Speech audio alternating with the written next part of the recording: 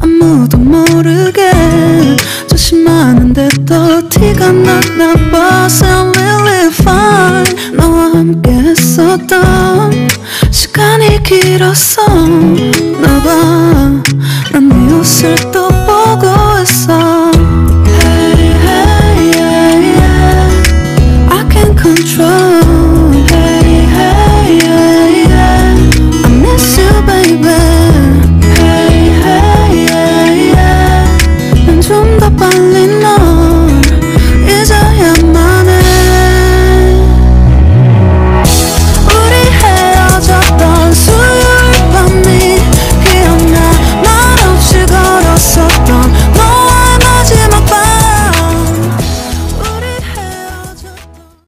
morning. Welcome back to Jane Vlog. Nakikita nyo ngayon, nandito ako sa garden ni Mama and Loco kasi kukunin natin yung mga ah, sitaw doon kasi nahihinog na siya. So, kukunin natin siya para may gugulayan tayo mamaya.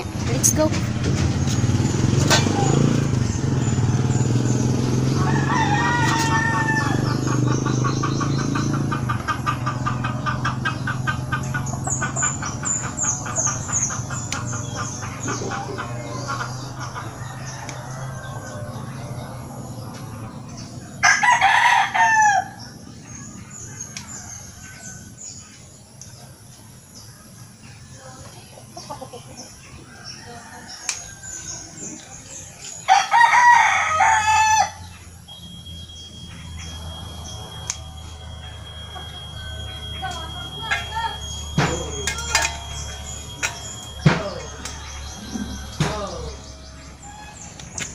Charan! Good morning! Ayan, anahin natin yan. Yung ibang maliliit hindi pa natin kukunin. So, ayan, meron pa. Dami nila, oh. Sa taas. So, kukunin natin yan sila. Ayan. At saka itong mga nahihinog na tomato, ayan, anihin na natin yan para maigulay na natin mamaya. ayan, oh, namamatay na yung puno. So, let's go! Guys, doon, ani- anihin na natin yung Gatawa na naman ko yun. Ayan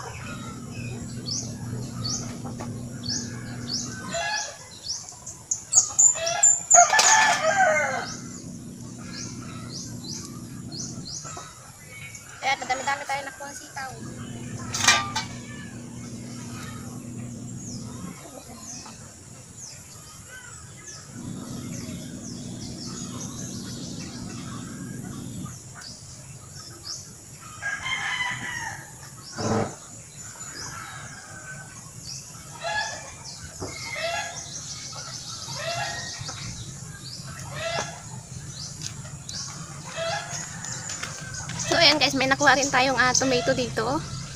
And syempre marami tayong nakuhang balatong sa Bisaya. Balatong yata ito. Sitaw. Ang dami natin nakuha. So gugulayin natin siya mamaya para may ulam. Tara! Let's go!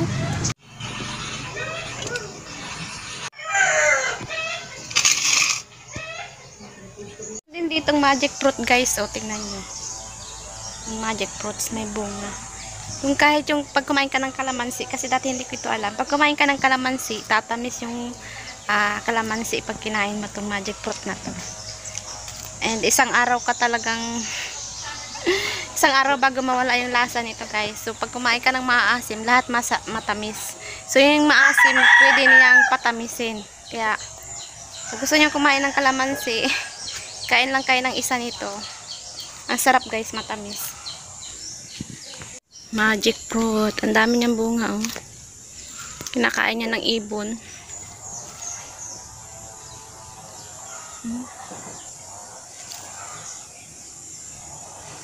Ayan oh.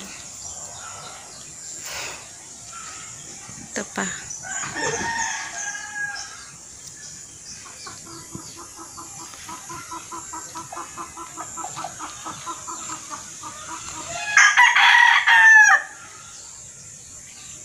Ayan guys, ang ganda ng sikat ng araw ngayon. So kahapon sobrang lakas ng ulan. Tingnan natin yung halaman ni mama. Oh. Diba? Ang gaganda.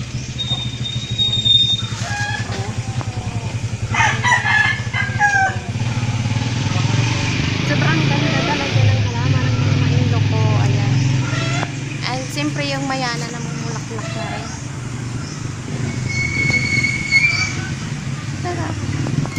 Bakit view sa likod may mga manok?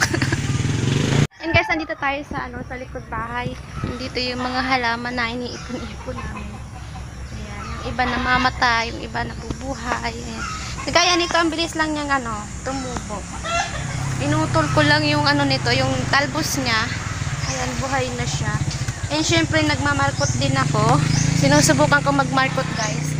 So, ayan, meron na siyang ugat siguro. Ayan. So, itatanim na natin to sa panibagong paso. Para hindi siya lalaki. So, bulaklak lang siya ng bulaklak, di ba? Meron din tayo nito. Ayan, buhay na sila.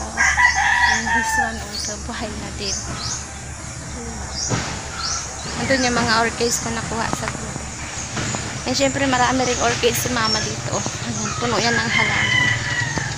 So, tingnan naman natin yung ano, yung mulberry dito sa likod. Ayan, oh, ang daming hinog.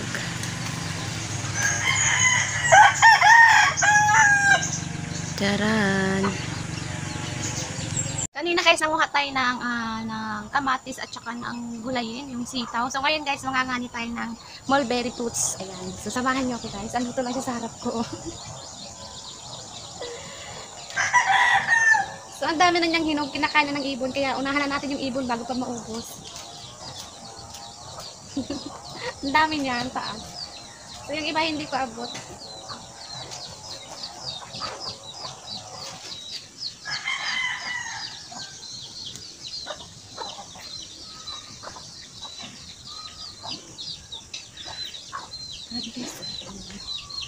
Anihin na natin siya.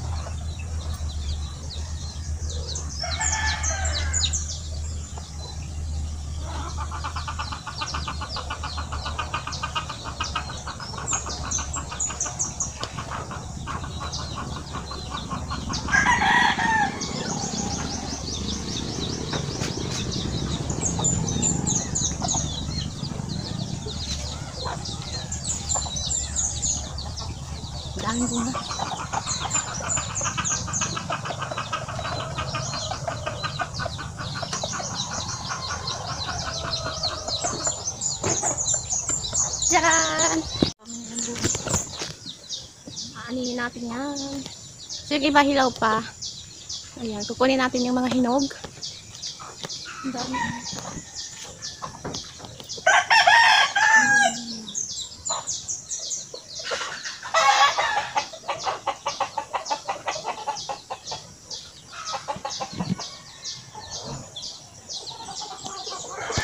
Ayan guys, aabutin lang natin yung abot natin kasi hindi naman pwedeng akyatin at mapuputol yung puno niya pag inakyat natin. Kaya bibitinan lang natin yung kaya lang natin abutin, din lang yung kukunin natin.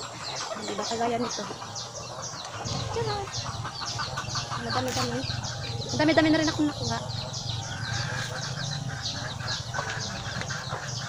Yung abot ko lang yung kukunin natin, syempre. Itong hindi naman natin abot ay hindi natin nakukuha. Hanggang dito na yun.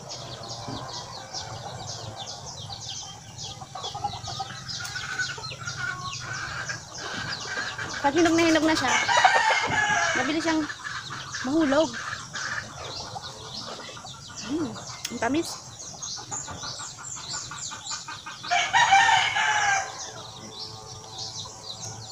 Tamis niya kaso man siya sa damit. Ayan. Tayo. Maganda tong itoppings guys pag gumawa ka ng cheesecake, mas maganda siyang ilagay sa ibabaw sa sunod, kapag ka, ano guys, nagawa tayo ng cheesecake, tapos ito yung gagawin nating topping sa ibabaw niya. Masarap siya. Matamis.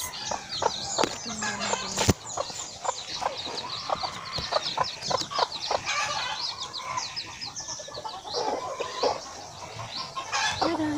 Gano'n ko ng bakla.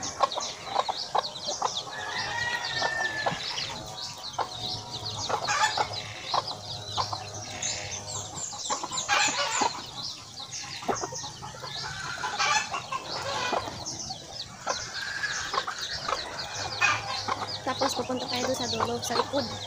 Kasi marami pang bunga doon sa dulo. Ito na inaanin natin. Ito naman tayo doon sa dulo. Ayan guys, wala na masyadong bunga doon. Kasi hindi na tayo makakapunta pa doon sa pinakadulo doon kasi may naliligo. So yung tubig umaano doon. So gusto ko lang kunin yung iba doon yung kaya ko lang abutin. Tara. Kagaya nito.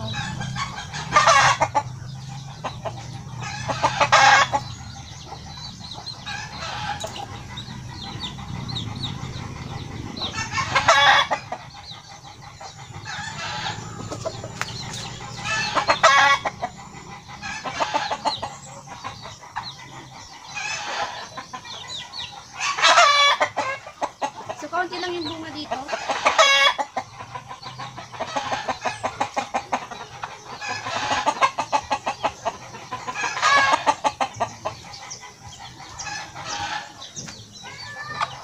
So, ayun nga, ah, guys, ah, medyo marami-rami tayong nakuha. Siyempre, and kakainin natin ito mamaya. Matamis siya. Tamis talaga siya. Masarap siyang ilagay sa ano, sa sa ibabaw ng cheesecake. Tamis. So, yun lang guys. Hope you enjoy watching this video and don't forget to subscribe, like, comment, and share if you want sa inyong mga favorite na social media account. And syempre, don't forget to press the bell button para notify kayo sa mga susunod pa ang mga videos. Bye!